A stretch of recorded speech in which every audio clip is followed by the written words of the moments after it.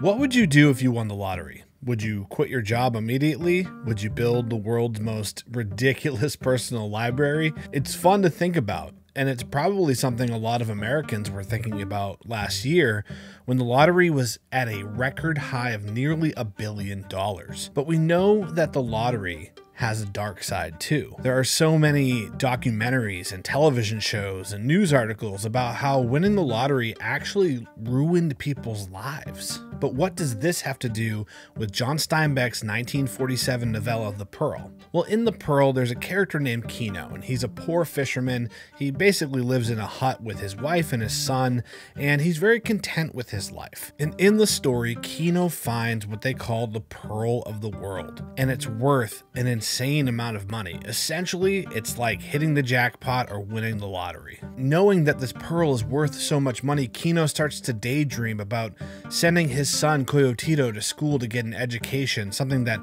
people from his station in life don't often do, or buying a rifle or building a new house. But from there, it's not long before Kino's luck turns into tragedy, and people trying to take advantage of him. Despite being less than 100 pages long, The Pearl demonstrates John Steinbeck's intuition, his prescience, and his understanding of class disparity. What's interesting is it's almost like a story of someone winning the lottery, except the modern day lottery as we know it didn't exist for almost another 20 years, with the first modern day lottery in the US actually being in my home state of New Hampshire in the 60s. Yet despite that, Steinbeck was able to so accurately depict how coming into a large sum of money can negatively impact someone's life. But Steinbeck does really well to highlight that it's not that people aren't mentally equipped to handle this money, it's that there are systems of oppression in place that help keep people poor. For example, in the book, Kino has no safe place to store the pearl until he can sell it to a broker.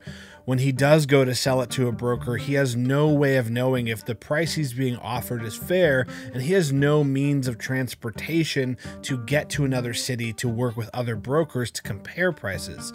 And then, of course, people come out of the woodwork, like a doctor who says he can help treat Coyotito for a scorpion sting, but Kino doesn't even know if his son needs that treatment, if it's effective, or if what the doctor is charging him is a fair price for that service. You might think that today would be different if someone who's very impoverished came into a lot of money, but it's not really. I've heard stories of people losing their entire lottery winnings on bad business investments, or people being told to invest their money into certain markets and those markets being highly volatile and them losing all of their winnings. The world might look a lot different today than it did in John Steinbeck's The Pearl, but a lot of these systems of oppression are still in place. And strangely enough, this story reminded me of renewing my license last year. I received a notice in the mail telling me that my license was due to expire, and I had the ability to go online and book an appointment to go get it renewed. Now, everyone hates the DMV, it has a reputation of being one of the worst places on earth. And when I went in for my appointment, there were literally hundreds of people in the waiting room. And I was able to bypass all of those people waiting because I had a pre booked appointment. And when I was waiting the five minutes before I was called, I overheard someone on the phone telling someone else that they had already been waiting for over three hours and there were still dozens of people in line ahead of them. Now, think about this. Maybe you don't have internet, so you can't even get online to pre book your appointment.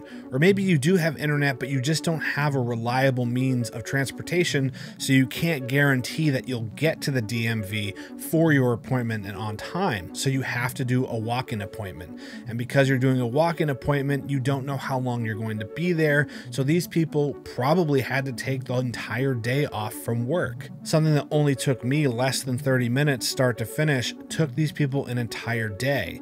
And because I'm an entrepreneur, my income is not directly tied to the amount of time that I work. But if you have to take off a whole day from work, your pay that week is going to be a fifth less than it normally is. So that $50 license renewal now becomes a several hundred dollar cost to you. And if you're in a situation where you don't have internet or you don't have reliable transportation, several hundred dollars is probably very significant to you. While Steinbeck's intuition and foresight is extremely impressive, And while he does a great job of outlining class disparity, I think it's more sad that here we are 80 years on and we're still struggling with the same issues of Steinbeck's day. Overall, I'd give The Pearl a 5 out of 5 rating. It was extremely emotionally impactful despite being really so short, and because it's so short, there's really no reason not to read it. Most people could probably read it in one sitting. Check out this video right here that we did on his work, A Russian Journal.